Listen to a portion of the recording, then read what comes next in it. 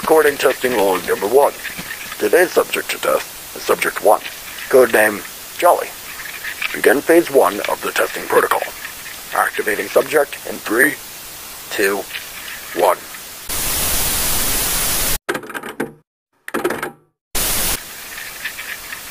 It has been three hours since the subject was activated, and we've noticed that it stops moving when it's monitored by our security cameras, documenting results.